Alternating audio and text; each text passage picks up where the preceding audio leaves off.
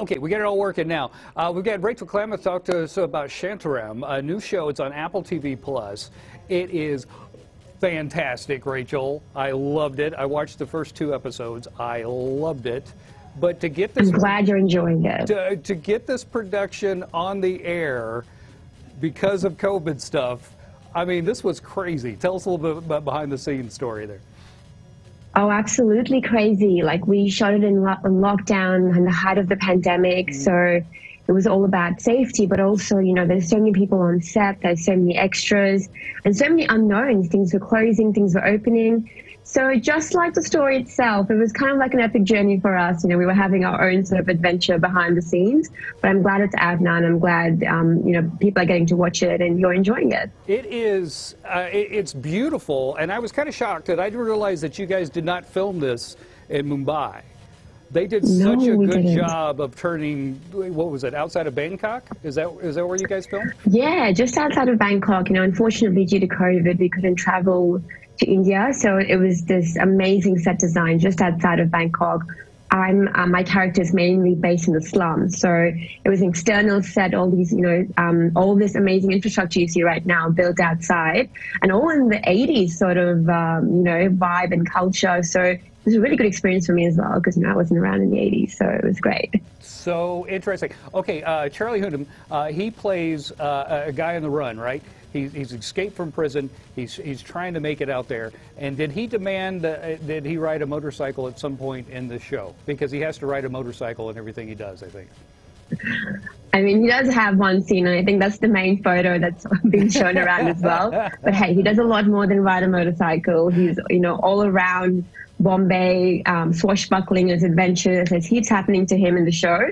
So I think you'll get to see a lot more than just motorcycles in this one. Oh, fantastic, fantastic. He also has a cool man bun. I really like his man bun in this.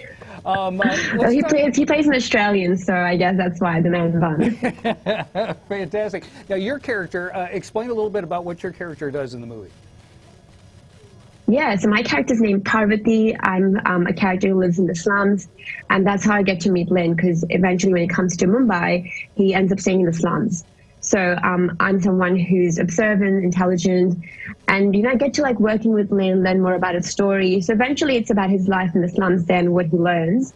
Um, and I'm also having a bit of a romantic track with one of um, you know Lynn's best friends in the show, played by Prabhu. Um, so yeah, so you, I guess you got to watch to see what happens, but it's just sort of one one part of his life in Mumbai is in the slums, and the other part is in the city, and so he's sort of in between these two worlds while trying to figure out his own journey, and you know while he's on the run, figuring out what he wants to do. Fantastic. And I enjoyed it so much, I ordered the book because it's based off of uh, uh, Gregory David Roberts' 20, uh, 2003 novel. Uh, and I'm so excited to read it. I can't wait to read it now. Yeah, a lot happens in the novel. Um, obviously, it's based on a book. There's loyal fans of the book, so we've had a great reception so far from them, which is great. Um, it's an on-screen adaptation, so it doesn't exactly follow the timeline of the book, but hey, you get to kind of enjoy the story into a different world. Yeah. You know, the book version and the screen version. Fantastic. Yeah, you got me reading. You got me reading, you got me watching. That's a, You covered all the entertainment that I can handle. Thank you so much for joining us. And, uh, and folks, I'm telling you, check it out. It's on Apple TV Plus. It is. it- it is fascinating and beautiful. And like you said, you see different people living different ways and him maneuvering through it is fascinating. Uh, thank you so much for joining us. Thank you for having me, guys. See ya. Bye.